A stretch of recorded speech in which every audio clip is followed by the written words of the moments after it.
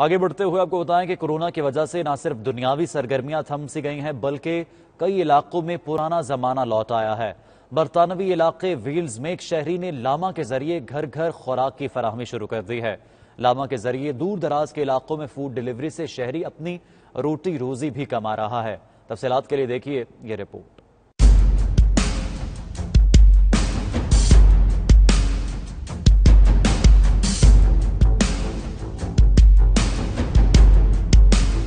कहते हैं ज़रूरत ईजाद की माँ है। बरतानिया भर में कोरोना की वजह से कारोबारी सरगर्मियाँ ठप हो चुकी हैं, ट्रांसपोर्ट बंद है। इस सूरत हाल में वेल्स के इलाके में रहने वाले एक शहरी ने अनोखा आइडिया सोचा। वो अपने पालतू लामा के ज़रिए दूर दराज के इलाकों में फ़ूड डिलीवरी की सर्विस मुहैया कर रहे हैं जो दिलचस्प भी है और मुफीद भी। इस लामा का नाम मैक्स है और ये मकामी फार्म हाउस ऐसी ताल्लुक रखता है। लामा के ज़रिए फ़ूड डिलीवरी करने वाले शहरी का कहना है की मौजूदा हालात में शॉपिंग बहुत मुश्किल अमल बन चुका है। ऐसी सूरत हाल में इस लामा के ज़रिए कुछ बेहतर करने की कोशिश की है।